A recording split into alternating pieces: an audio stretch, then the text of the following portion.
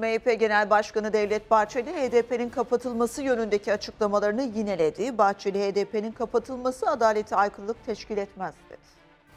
altını kalın bir şekilde çizerek diyorum ki şiddeti ve terörü siyasal bir araç olarak kullanan ve anayasal düzeni yıkmak amacıyla şiddeti ve şiddet kullanmaya dayalı faaliyetleri savunan siyasi partilerin bu çerçevenin dışında tutulması hukuk devletinin vazgeçilmez gereğidir.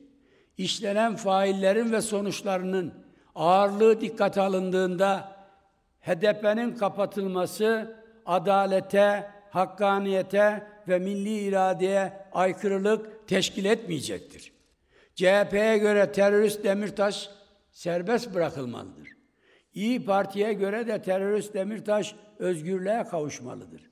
Kanaatimiz odur ki teröriste terörist diyemeyen işlenmiş suçlara potansiyel ortaktır. MHP'ye şiddet yaftası vurmak için kuyruğa girenler, teröristlere cici çocuk muamelesi yapacak kadar gayrimilliliğe savrulmuşlardır. Sorarım sizlere, bu reva mıdır? Bu hak mıdır? Bunun neresi siyasetle bağdaşmaktadır?